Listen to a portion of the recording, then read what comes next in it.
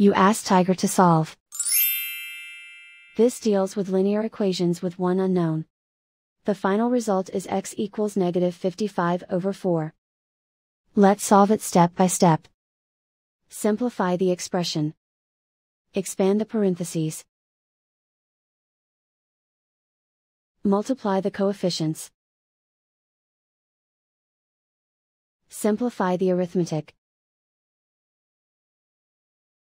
Expand the parentheses. Multiply the coefficients. Simplify the arithmetic.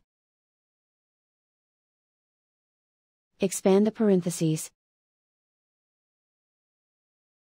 Group like terms.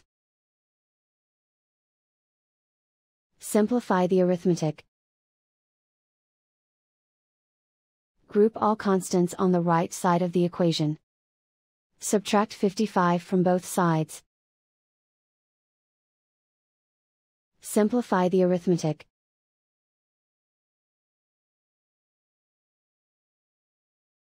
Isolate the y. Divide both sides by 4. Simplify the fraction. And so the final result is x equals negative 55 over 4.